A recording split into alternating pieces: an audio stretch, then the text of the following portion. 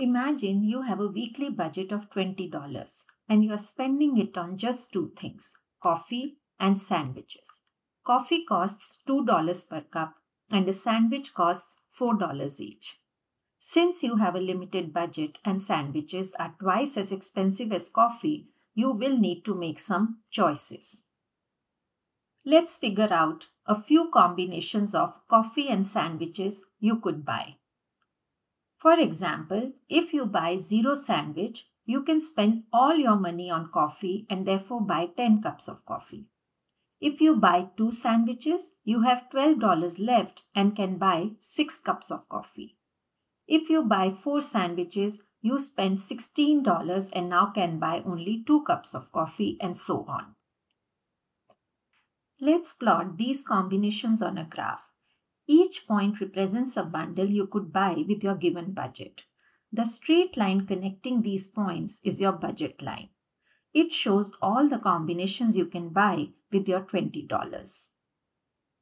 The budget line represents all affordable combinations of two goods, clearly distinguishing between what is within your budget and what lies beyond it. Maybe you wish you could buy 3 cups of coffee, which is here 3 cups of coffee, and 8 sandwiches. 8 sandwiches is here, or 1 cup of coffee and 5 sandwiches. But you cannot, as these two combinations are out of your budget. These cost more than $20. But the combinations like 3 cups of coffee and 2 sandwiches, or 1 cup of coffee and 1 sandwich a combination below the budget line in the green area are affordable and you could buy them if you want. We can express this budget constraint in the form of an equation algebraically like this. In our example of coffee and sandwiches, the budget equation would be PC into C plus PS into S is equal to M, where PC stands for price of coffee, Capital C stands for quantity of coffee, PS stands for price of sandwich, capital S stands for quantity of sandwich, and M stands for total budget. We already know that the slope of a curve is calculated as a change in variable on the vertical or y-axis divided by change in variable on the horizontal axis. In our example, the slope would be the number of coffees that the consumer is willing to sacrifice for an additional sandwich. So this means that the slope is minus 2, meaning for every one sandwich, you give up two coffees. This reflects the opportunity cost or the marginal rate of exchange. This minus sign also has relevance as this is reflecting that the slope is negative and in order to gain one sandwich, one more sandwich, you have to let go some coffee. Another interesting thing about budget lines is that they represent the price ratio. Now you might wonder why. The price ratio specifically represents the trade off between the affordability of two goods in question. In our example, to afford one more sandwich, we need to give up two coffees as the sandwich costs twice as much as a coffee. First, let us define what is price ratio. Price ratio is the price of the good on the horizontal or x-axis divided by the price of the good on the vertical or y-axis, which would be minus PS over PC in our example. This would be price of sandwiches divided by the price of coffee, which is minus 2. Now, aren't you surprised? Did you notice something different? Intuitively, we always look at the slope as rise over run. And we might think that the slope should have been actually minus PC upon PS. But in the case of budget lines, it is run over rise, something you must pay attention to. This is something you need to be careful about while preparing for your exams. Pay attention to the axis. They show quantities of goods and not the price. And the slope of the budget line reflects the price ratio, but it's represented as run over rise to show the opportunity cost of choosing between two goods. We can also mathematically derive that slope is equal to minus PS upon PC from our original budget equation. Now, if you are interested in going deeper and understand how we do that, you must check out the last part of this video where we will derive this step by step.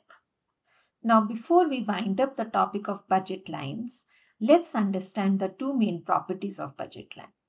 It has a negative slope. That is, it slopes downwards as more of one good can be bought by decreasing some units of the other good. The second property is that the slope of the budget line is represented by a constant price ratio, which we discussed in our last few slides, which is minus PS upon PC. Since it is constant throughout, therefore this is always a straight line. In summary, on the budget line, remember, each point shows a possible combination of coffees and sandwiches within your budget, and the slope helps you to decide how to spend your money based on prices and your preferences.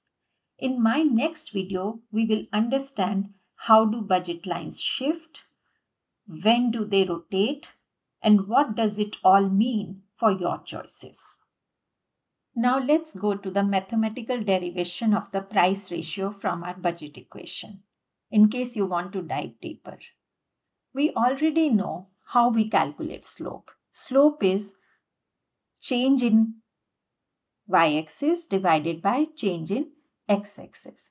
So in our case, it would be slope is C2 minus C1, which is cups of coffee, change in coffee divided by change in sandwiches. Now budget equation is represented by PC into C plus PS into S is equal to M. We can also represent the same equation in this form where I have kept C on the left hand side and we take rest of the values to the right hand side. Calculating for C, we get this. What does that mean? that whatever money is left after purchasing sandwiches divided by price of coffee would give you number of coffees. We can also express it as C2 equals m minus PS into S2 over, PC or C1 would be equal to m minus PS into S1 over PC. Now, if we substitute these values of C2 and C1 in our slope formula here, Okay, this is what we are going to get. So instead of C2, we replace this value which is m minus ps into s2 over pc minus m minus ps into s1 over pc and the whole thing divided by s2 minus s1. Here we are multiplying the numerator and the denominator by pc. And when we do that, we can easily cancel out this pc and this PC, this PC and this PC. And what we are left with is this equation. After this, we are going to open the brackets and we get m minus ps into s2 minus m plus ps into s1 and the denominator remains the same.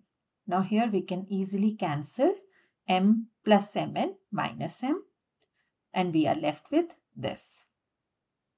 Here we can take the common factor ps out so we are left with S2 minus S1 in the numerator as well.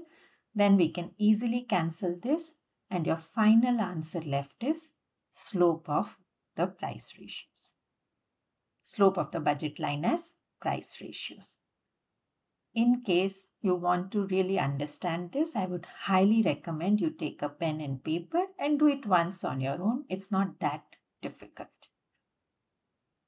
I hope that this video was helpful. Stay tuned as we explore shifts and rotations in budget lines in my next video. Don't miss it. Subscribe and turn on the notifications. See you there. Bye.